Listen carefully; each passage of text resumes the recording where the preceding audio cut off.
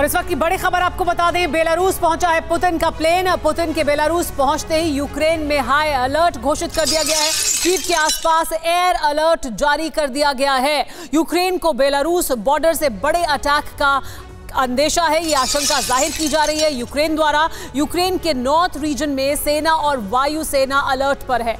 19 दिसंबर की रात से कीव पर 35 ईरानी ड्रोन से हमला किया गया। इसके बाद यूक्रेन के एयर डिफेंस ने 30 ड्रोन को हवा में ही नष्ट कर दिया। जेलेंस्की की नाटो देशों से तुरंत हथियार देने की गुजारिश भी सामने आई है।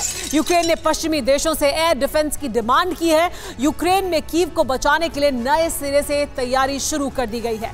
इटली से मिलेगा एयर डिफेंस इसके अलावा ब्रिटेन गोला बारूद देगा। ये जानकारी भी अब सामने आ रही है। चार दिन बीत गए लेकिन कीव में धमाकों का सिलसिला नहीं थमा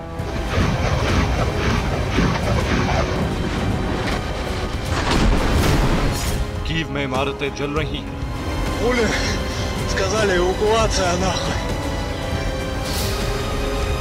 रिहायशी इलाकों में रह रहकर धमाके हो रहे हैं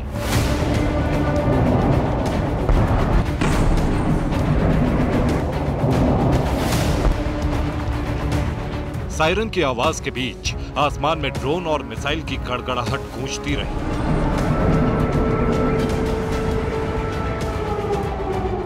और फिर धमाके की आवाज़ आती है। कीव के लोग घर छोड़कर शेल्टर्स में छिपे हैं। चार दिनों से मेट्रो के अंडरग्राउंड स्टेशन ही सेफ़ ठिकाना है।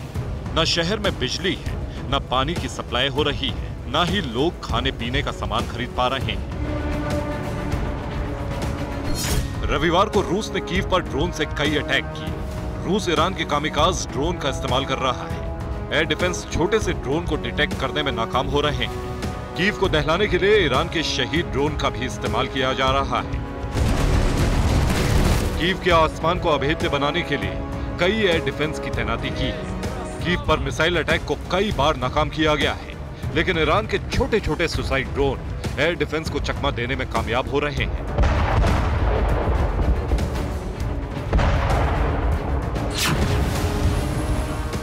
कीव के आसमान में 30 ड्रोन नष्ट किए गए। 19 दिसंबर की रात को ड्रोन से कीव को टारगेट बनाया गया। अजोव सागर के किनारे से कीव पर ड्रोन अटैक जारी है।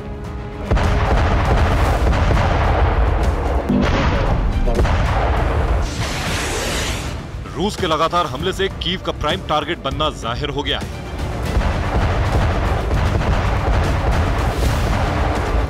एक दिन पहले ही यूक्रेन के मेजर जनरल आंद्री कोवालचुक ने चेतावनी दी है कि फरवरी तक रूस की पर नए सिरे से मिशन की शुरुआत कर सकता है।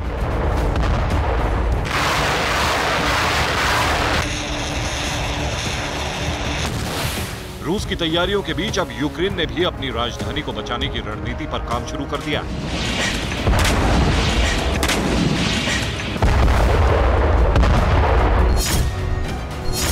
बेलारूस बॉर्डर से अटैक की उम्मीदों के बीच यूक्रेन अब अपनी आर्मी को नॉर्थ की तरफ़ शिफ्ट कर रहा है। कीव को बचाने के लिए सबसे ज़रूरी है पहले से ज़्यादा घातक और ताकतवर हथियार जेलेंस्की की एक डिमांड को इटली पूरा करने जा रहा है। इटली यूक्रेन को एयर डिफेंस की सप्लाई करने वाला है। इटली यूक्रेन को SAMP T air defence system देगा। सैम टी क्रूज और बैलिस्टिक मिसाइलों को नष्ट कर सकता है। ड्रोन और फाइटर विमानों को हवा में ही नष्ट कर देता है। इटली जल्द ही एयरबस ए फोर या फिर C one thirty J super Hercules विमानों से इस एयर डिफेंस को यूक्रेन तक पहुंचाएगा। कीव में SAMP air defence game changer साबित हो सकता है।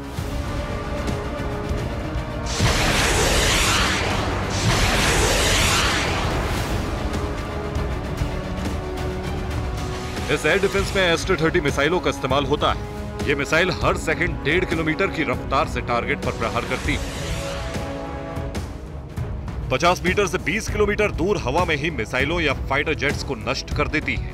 एयर डिफेंस के साथ मल्टीपल रडार सिस्टम अटैच रहता है, जिसे चकमा देना बहुत मुश्किल है। ब्रिटेन ने भी यूक्रेन को गोला बारूद देने का ऐलान किया है। ब्रिटेन टैंक के लिए गोला बारूद की सप्लाई करेगा। ब्रिटेन मल्टीपल रॉकेट लॉन्चर भी देने वाला है। ब्रिटेन से यूक्रेन को 125 एंटी एयरक्राफ्ट गन मिलेंगी। ब्रिटिश पीएम ऋषि सुनक ने कीव जाकर जेलेंस्की से मुलाकात की थी और हथियारों की सप्लाई का भरोसा दिया था। अब सुनक ने 304 मिलियन डॉलर की सैन्य मदद देने को मंजूरी दे दी है। अमेरिका यूक्रेन को पेट्रियट एयर डिफेंस देने पर विचार कर रहा है। इस बीच ग्रीस ने अमेरिका को नया ऑफ़र देने के साथ नया आइडिया भी दिया है।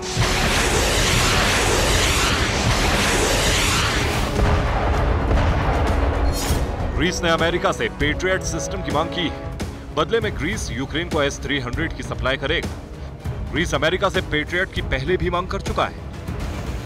कीव पर लगातार मिसाइल और ड्रोन अटैक की वजह से यूक्रेन के एस थ्री एयर डिफेंस खाली हो रहे हैं। ऐसे में यूक्रेन को डिफेंस सिस्टम के लिए मिसाइलों की ज़रूरत है।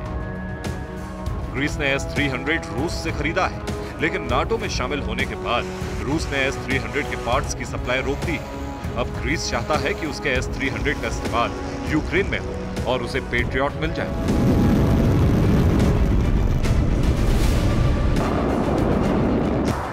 रूस का एस थ्री मिसाइल सिस्टम बेहद ताकतवर माना जाता है। इससे मिसाइलें, लड़ाकू विमान, हेलीकॉप्टर, ड्रोन और बैलिस्टिक मिसाइलों को नष्ट किया जा सकता है। रूस ने इसी सिस्टम को अपग्रेड कर एस 400 और एस 500 मिसाइल सिस्टम तैयार किया है। एस 400 दुनिया की सबसे एडवांस एयर डिफेंस सिस्टम है। अब देखना होगा कि बाइडेन ग्रीस के ऑफ़र को मानते हैं या फिर रूस की धमकियों की फ़िक्र ना करते हुए यूक्रेन को पेट्रियट डिफेंस सिस्टम देते हैं। लेकिन इतना तो तय है कि अमेरिका और ब्रिटेन रूस के कीव पर कब्जे के मिशन को नाकाम करने के लिए यूक्रेन की सेना को बेहद घातक हथियार देने से हिचकिंगे नहीं।